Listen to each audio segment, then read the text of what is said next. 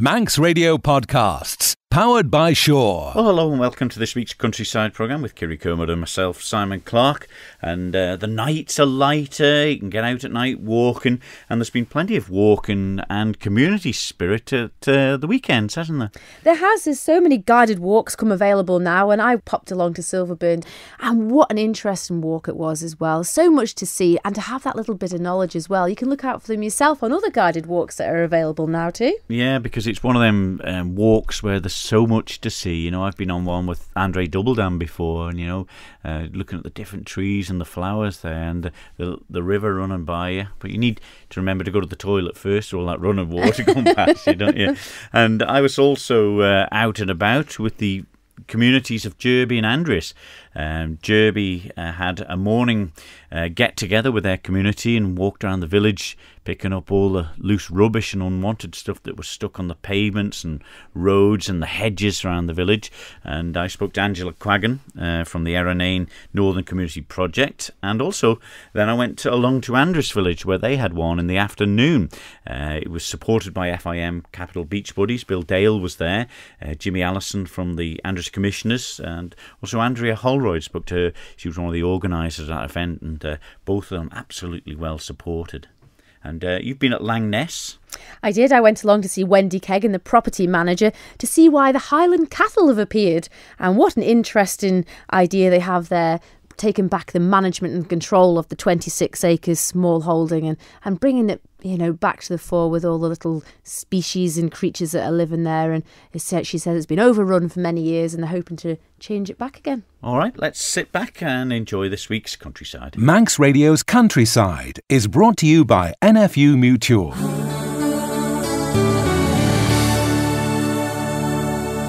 Well, Kiri, we both uh, enjoy walking around the beautiful countryside we've got here on the Isle of Man. We're so fortunate, aren't we? And of course, I live in the north. You're based more down the south, so I suppose we don't get to swap too often. But the, you know, the walks around the Point of Ayr, you come up there, don't you, and Smale and the nature reserves.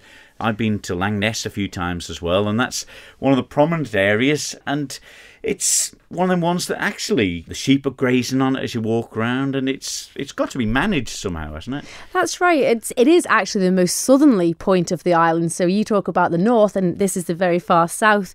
I went along to speak to Wendy Keggin, the property manager on Langness, to find out what they're doing with the 26 acre small holding. Yeah, we have three Highland cattle Ethel, Edna, and Evita, who are the most beautiful thing you've ever seen in your life. They are gorgeous and they are here for a purpose. They're not just here because they're glamorous. They're here because the land must be managed better to keep this land for our children, our grandchildren, to keep it for future generations, we must protect the land. And that involves managing it properly. It must be managed by grazing, especially. That's the biggest thing, the grazing.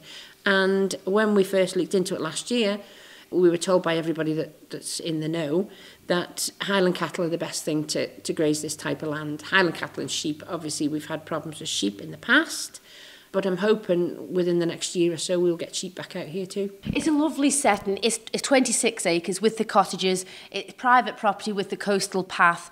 It, you know, it's ideal for this type of livestock, especially the native traditional breeds. Yeah, of course it is. It's beautiful and they love it. The, the cattle so far, they've been penned in up till now. Um, to get them used to people walking around them, to get them used to seeing dogs on leads. And all I need people to do is to keep the dog on a lead and to pick up after them. The reason they have to pick up is because dog feces is very attractive because it's made of cereal. It's very attractive to cattle and to horses especially. Horses and cattle, if they are in foal or in calf, if they eat the dog feces, it can be fatal or it can cause them to abort um, their calves or their foals. So I want people to understand there is reason behind this. I'm not being a horrible person. I'm not just being argumentative, confrontational. I don't want that. I want people to walk out here. It's the most beautiful spot ever. I want them out here. I want dog walkers. I'm a dog walker. I'm a dog owner. I want them out here with the dogs. I just want them to show a little respect for the fact that it is private land. It's privately owned. Um, it's owned by one person we have had no, we've never said to people, you know, this is the footpath, you stay on it. We've always been, you know, very lenient with people walking on the private land. Unfortunately, if they continue with the minority, we are looking at fencing in the coastal path, which would only have to be, I'm told, 36 inches wide. Now, I personally think that would be a dreadful shame if you had to walk in a three foot wide path. It would detract from the beauty of the area. It would be knee deep in dog muck because of the people that don't pick up, and it wouldn't be a nice walk. You would have to look down all the time. You wouldn't be able to see the sea, the sky, the birds, which we have masses of out here. We have a lot of wildlife on Langness Peninsula, not just the grasshopper, which of course is, is a big thing, um, this rare species of grasshopper that only lives in this little tiny spot in the whole of the British Isles. The next closest place this lives is somewhere on the European continent. So it's ideal to have the cattle and the sheep work hand in hand with the, the rare species of flora and fauna we, and animals. We need this. We need them to graze this down because the flora and fauna, the little insects, the little bugs, the bees, you know, all the things that the birds eat. We need to keep this. Uh, it's called sward. We need to keep it down to a level where we can encourage these insects to come. So we encourage the birds to come. So it's ongoing. Everything then, you know, keeps going in a natural form. So where did the Highland cattle come from? Are these from, from locally on the island or did you have to fetch them from Scotland? No, we bought them locally. We bought them from the Manx Rare Breed place, Ballalocton. He's been very helpful, but we have taken a lot of advice on Highlands from a guy in the Scottish Highlands, funnily enough, who does seminars on these animals. We've taken a lot of advice before we bought them. We've spent nine months um, looking at what you know whether they would be suitable for us because obviously I'm not a farmer. Mm. Although I'm from farm and stock, I'm not a farmer. I don't know the ins and outs of farming, but this isn't a farm. This is an area of land that has to be managed. It's more like I don't know a small holding, I suppose. So we will have three cattle on 26 acres. I'm hoping eventually we'll have more. But for now, we'll see how we get on with the with Ethel, Edna, and Evita. Um, we're very lucky that the three heifers that you got here, they are friendly. Yes. They're, they're not wild beasts by any stretch. They will come and, and, you know, want to be stroked maybe. Yeah, they're not tame animals. We're not domesticating them. I have to resist the urge to stroke them every time I go out and feed them. I, I just want to cuddle them, and they are beautiful. But I, what I want them to do is just avoid people. I want them to get out there and do their job and just avoid people. That's the top and bottom. And to be fair, we have had people who've said, oh, I'm frightened of cows. It'll put me off walking out here. Well, if there's 26 acres and three cows, you, you, most of the time you probably never see one.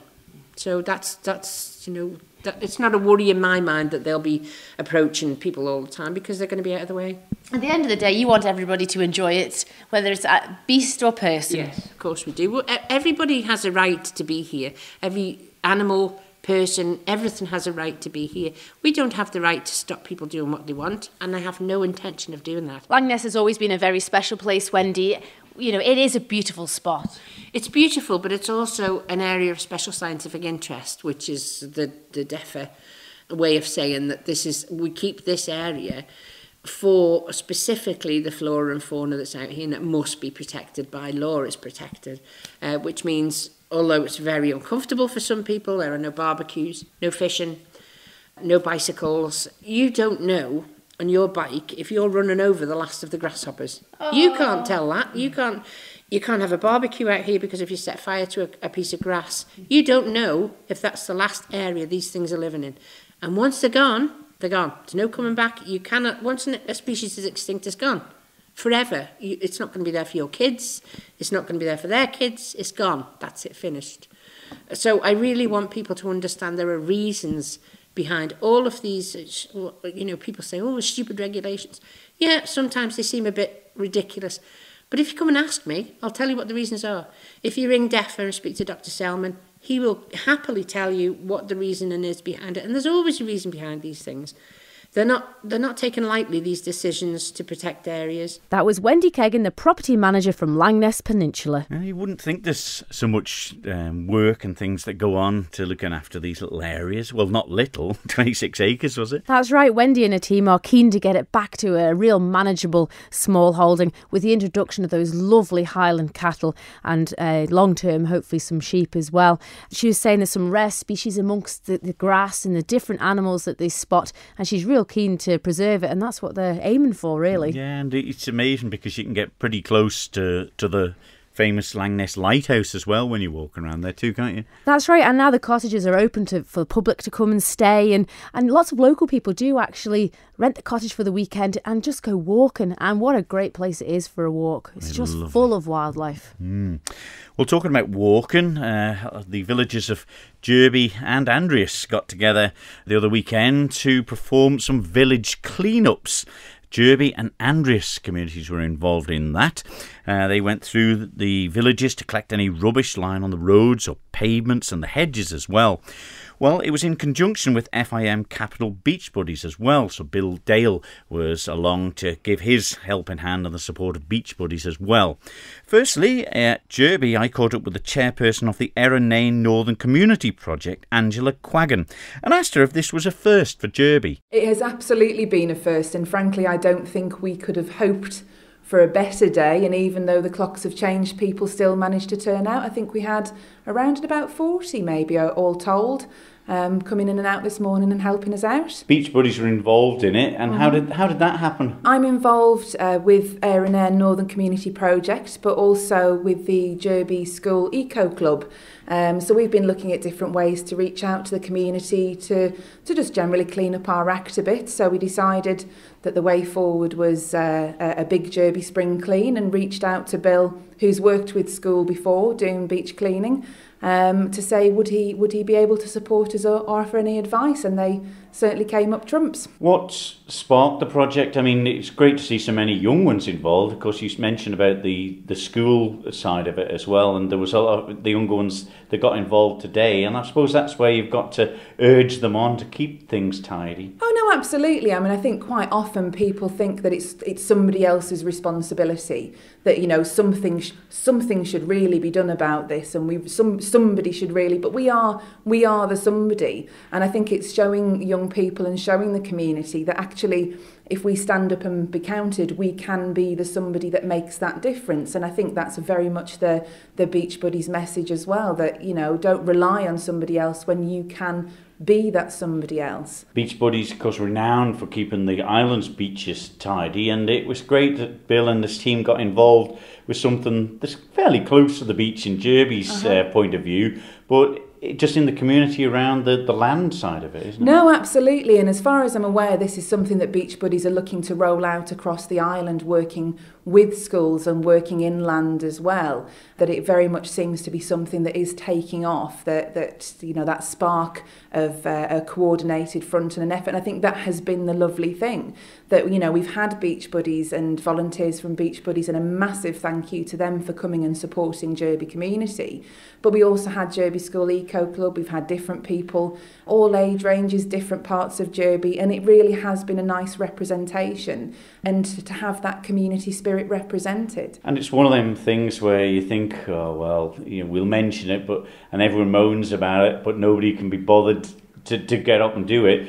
Uh, your team have got the drive to get everyone involved, and that seems to be working. People care now, don't they? Oh yeah, we, we are getting there. We are absolutely getting there. People are engaging and they're realizing that they can make a difference, and we and we are making a difference. And it is it is a really positive time, and it's it has been a. I mean, it's it's helped that it's been such a beautiful day, but it has been a lovely atmosphere, and certainly even down to making brews at the end and people bringing cakes and helping tidy up at the end. It has been a really a, a, a, positive collaborative effort, yeah. Well, what's next? Uh, I mean, the, the response has been excellent, and uh, obviously this could be an ongoing thing by the sounds of it. I would certainly hope so. I think if you make the effort and you have the momentum going, it's easier to keep something pushing forward that is already moving. People had said today that they would be willing and they'd love to see it happening again. I mean, hopefully, if we could guarantee the weather conditions, then maybe we'd get an even better turnout.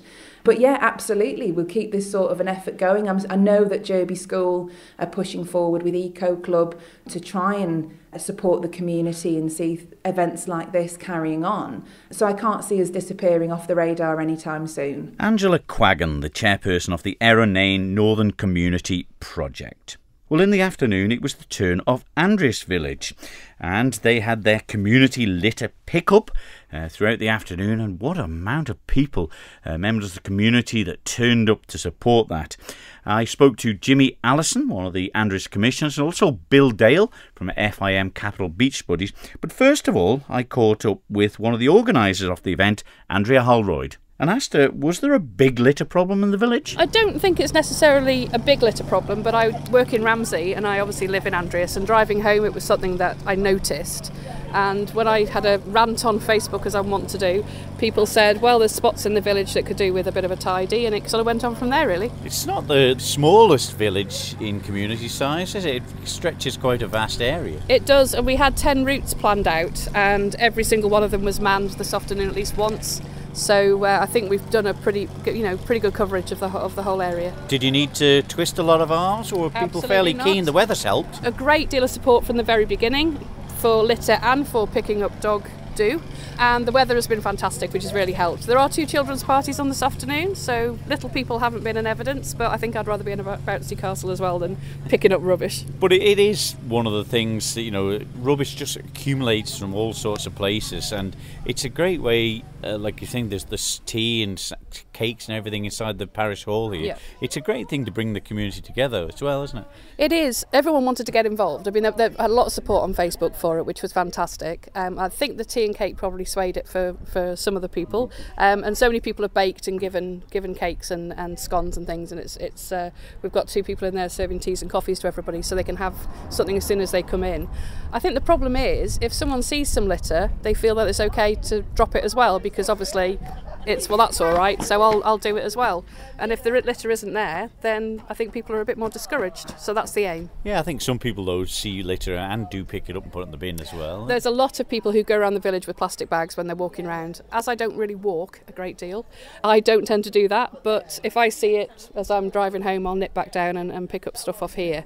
And outside the shop yesterday I was picking litter up so uh, yeah most people do, do it as, as, a, as almost a, a natural thing Okay, well, this, is this going to be a, a, a more frequent event then? We're going to hope to do another one just before TT because obviously we have a lot of visitors to the parish at that time. Um, bride tea rooms do the TTs up there. Well, the TTTs, is it? Although we don't do that here at the moment, then we will get people coming through, and I think we need to sort of have a bit of a, an effort just before that time. Well, Jimmy Allison from the Andreas Commissioners, uh, you must be very pleased with the turnout and the, and the event itself. Oh, very pleased. Yeah, I think the village, like you say, is not what you call extra dirty, and it's only two percent of the people that spoil it for the rest of us. But it's lovely to see people come out, and it's your thing. It is a community, and it's a good community to live in. So let's keep it that way. Over the years, you obviously you've spent a lot of time in Andreas, uh, Jimmy. Uh, has it a problem that's got worse, or just one that's niggled you as you as you're getting older, so to speak? Well, the dog poo is outraised every commissioners' meeting, and they say let's put more bins out, let's put more signs out. But the answer is dogs can't read, and they can't reach the bins anyway. So it's the people that's making the muck. So let's try and nail them fellas. Yeah, is that the, worst problem than litter? I think it is, yeah, because it's quite lackadaisy. I mean, you, you see a bit of litter, you pick it up, and it seems to stay pretty clean, but dog dirt's there every day. So do you think this event picking rubbish up and making aware? Because obviously, if you're in a group, you'll see it then. Point it can be pointed out to people. Yeah. Here, this is where a problem is. Well, it'd be nice to make people aware of what they're leaving behind. And it's not the dog's fault, it's the people's fault, isn't it? So I don't know what the answer is. But it'd be nice for people just to take a little bit more care. And uh, there's a lovely community. I think it's one of the best communities on the island. Uh, really friendly people. So let's keep it that way. And the commissioners must be pleased with the turnout. Oh, lovely, yeah. Yeah, there's, it's nice to see people at anything in the community, isn't it? So it's lovely to see them here today. And the weather's been good, your thing. Well, Bill Dale from the FIM Capital Beach Buddies. Yeah. no beach in sight today, so this is something different for you, is it? This is the first weekend in years that, that we've not run an event on a beach. Uh, in fact, we've run, we've been involved in six different events in three days, and not one of them was on a beach. So it just shows you that everybody's wanting to get involved in this, and the spirit is there. You know, I mean, this is really what I think the Isle of Man is all about. When you see all the local people that's come out here today in Andreas, and then this morning we had an event in Jurby and you just see the, the enthusiasm to want to do something positive and to make a difference. It's just fantastic. So congratulations to everybody who's got involved today and to be, to be behind it, like Andrea here, and then there was Angela down at Jurby. These things don't happen unless you get people like this to, to make it happen. We've just come along to give our support and take all the rubbish away, and so it's just been fantastic, yeah. As beach buddies cleaning the beaches, one of the things you do put over is that the rubbish around inland gets into the rivers, the trenches, and ends up in the sea. So this can prevent that, can't it? That's right. And, a, and a, a, piece of rubbish, all this stuff that we've collected today, things like plastic and, and food wrappers and tin cans, there's one thing that happens to them. When they get crushed, they end up going down the drain, they end up in a stream, in the river, out to sea, and on the beach. So even if it's here in the middle of Andreas, which is about what two, three miles from the beach, it'll go down the drainage system and then in the river and out to sea. So it ends up on the beach. So that's where 85, 90% of all rubbish on the beach is coming from. So if you get it here, you've stopped it. If every community now decides they're going to have these village well, cleanups, how, how can you keep that going on the beach? you know what? I don't care about how much effort and, and time it takes. What's what's happening here now is that people have seen what can be done.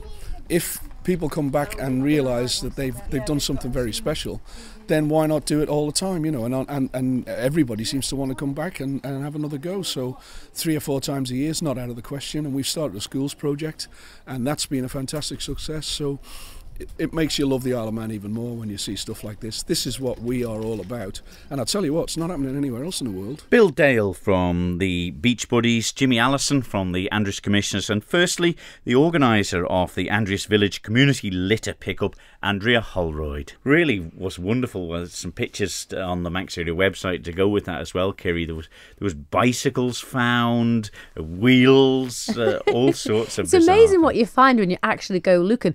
But I must say say the island is fairly tidy compared to some of the, the motorway roadsides in the UK. They're absolutely terrible. So it's really good that people are getting out and keeping our island as beautiful as it is. Yeah, it's just one of the things that really ticks me off, I suppose, in a way, that every car has an ashtray and people who smoke still throw the cigarette out the window. I just don't get that. Goodness but me. I suppose, I don't know, when you look back when you were younger, did you drop litter? I, I'm not sure, but I think it's it's more drilled into people now that it's uh, you know not the right thing to do, and and most of the places are quite well equipped with litter bins, but. Uh, using them, I suppose, is one of the problems.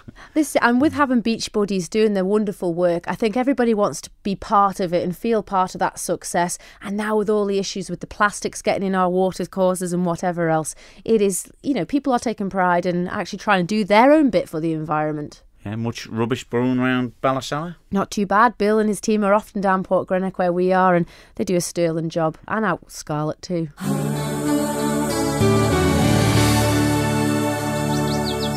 Manx Radio's Countryside is brought to you by NFU Mutual. Well, as if we haven't had enough walking. You were out walking uh, around the Silverburn, weren't you?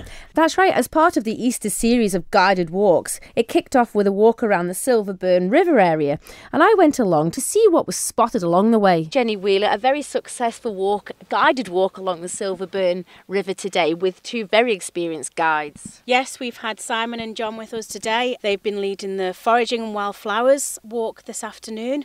Uh, we've had a really great turnout on what is actually quite a chilly day, and everyone's uh, certainly gone away having learnt more than just one or two things, I'd say. It's uh, been fascinating. For people to come out and enjoy guided walks like this, and it was completely sold out, you couldn't get another person on it. It just shows how passionate people are for walking around our island. Yes, definitely. Um, and I also think what these guided walks help do is give people a little bit of structure, a place, a time to be, a thing to do, a purpose to come out and, yeah. and to get involved. And that's certainly some of the feedback that I've had today from some of the people that have been um, been walking with us. That it's nice to have something planned for them them so they can sign up and know where they're going. They've got some support, they've got a guide, uh, and it all feels a little bit more comfortable for them then. And to have the experience of John and Simon, you know, both really passionate about what they do in the countryside, and, and now with the wildflowers all just emerging from the winter as well, it's, it's gorgeous. Yeah, there's um, been plenty that we've been able to see today, and, and lots that we're expecting to be able to see over the next few months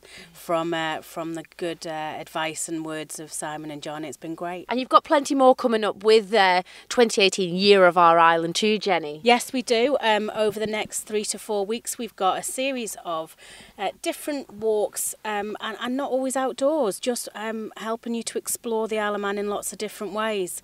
So, um, we, for example, we've got a, a walk with Charles Guard in a couple of weeks, uh, the Great Walls of Laxey, and then we've also got a tour of the power station. So it's an, about an opportunity to maybe find out a little bit more about the Isle of Man, explore somewhere a little bit different, whether that's uh, the power station or the sewage treatment plants, or whether that's the walls of Laxey or or Poolvash. So once the Easter walks are finished, Jenny, what what continues after that for the rest of the year? Well, we're continuing to celebrate the great outdoors during March and April, and our colleagues at Manx National Heritage are picking up the baton from us after the Easter walks, as they have a wildlife week uh, on the third week of April.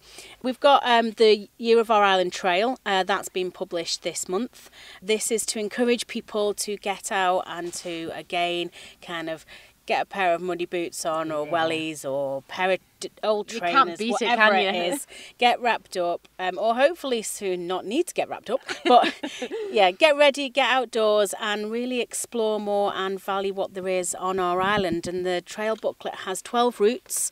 They range right across the island, so geographically, right from the Point of Fer down to Point Port St Mary. These walks are mostly circular. They are appealing to people who might not normally get out and walk. So if you if you're normally hiking up Ohio Plantation, then this is probably a little bit um, easy for you.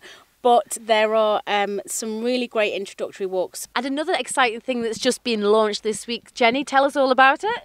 Uh, yeah, we've got our Island Rocks treasure hunt.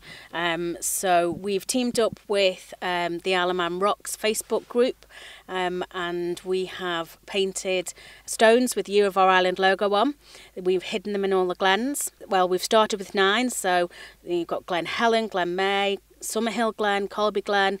I've just hidden some more in Ballaglass, Bishop's Court, and a couple more. And you can find information about those on the Facebook page and on the webpage, which is ourisland.im. And um, just encouraging kids to get out and to find the rocks. If anybody's got children, I'm sure they're aware of the Facebook Rocks, Isle of Man Rocks page. But if uh, any children find three rocks, then they can take their picture with them and take it down to the Welcome Centre and they'll get a prize. What we do, yeah, I know. What we do ask though is that um, when you've had your picture taken, if you leave the rock back where you found it, or you rehide it either in the same glen or on the same walking route, because we've got the rocks and each of the walking routes as well from the Our Island Trail. Oh, so leave it there for the next person to enjoy as well then. That's it. That's it. It's about getting out and exploring the glens and finding the rocks. So, yeah. It's a lovely walk around the Silverburn River, isn't it? It's uh, just nice and peaceful, isn't it? There. It really is, and it's lovely and flat as well, so lots of people can enjoy it. But it's amazing what is coming out of the hedgerows now. Spring is, you know, upon us, and the nights are so much lighter. Everything is coming to life. It's just magnificent. And there's so many people are, are into walking nowadays, aren't they? You know, and uh, not all the tracks are suitable for fast walkers. I don't think you know the odd stone sticking in your shoe and things, but for for the general ramblers. Oh, it's the- perfect, isn't it? It's really, really good. And there's so many guided walks on within the next few weeks, and you can find them all online as well. So if you want to get out and about and actually have a speaker telling you about the walk, you know, have a look on, on the internet. There's some real good ones coming Yeah, coming try somewhere different, and then you'll learn a little bit about uh, about about that area, won't you, from from people who know. Manx Radio's Countryside is brought to you by NFU Mutual. Well, this program uh, has just finished now, and it's made me smile, Kerry, to think of all the people, first of all, who wanted to get involved in cleaning up the communities of Jurby and Andreas. Uh, just on that weekend, um, give up their time, and Beach Buddies gave up their time, and the organiser of the event as well, just to want to make uh, their little villages a little bit better and more pleasant uh, for people to walk around in. I do find that people on the island are very supportive of local projects, and to have such great organisations like the Beach Buddies, it really does give you encouragement to get out there. I do find the island has a lot less litter than other parts of the UK, but having the support, you know, it really drives forward. Yeah, and then Langness, of course, it's one of them uh, beauty spots. You can walk around and get so close to the lighthouse, and there is something about lighthouses, isn't it? Maybe because there isn't many of them. And that's why Well, you can get so it. close to that one, you? Exactly, and it's so well kept, and, and the whole coastline is full of wildlife to see the seals, now the Highland cattle, and they want to encourage people to come and walk and enjoy. And look So- after it. and look after it at the same time. Yeah, and also Silverburn. That's a lovely place to walk to. It is absolutely gorgeous. Again, we're very, very lucky here on the island, but to have guided tours and guided walks of these areas, and as part of the uh, celebrating our great outdoors here on the island, now springtime's with us, it's about time everyone got out to enjoy it. Yes. Uh, okay, we'll leave it there for this week's countryside. We're back next week. So from me, Simon Clark. And me, Kiri We'll see you next week. Bye bye. Bye bye. Don't sit in the slow lane. Join the fast lane right now with Sure's all new Superfast Plus broadband. Enjoy more bandwidth, amazing speeds, and the best value on the island from just £23.95 per month. So don't be left behind. Get a piece of the high speed action with Superfast Plus broadband from Sure. For details, visit our stores in Douglas, Ramsey, and Port Erin or click sure.com. Terms and conditions apply.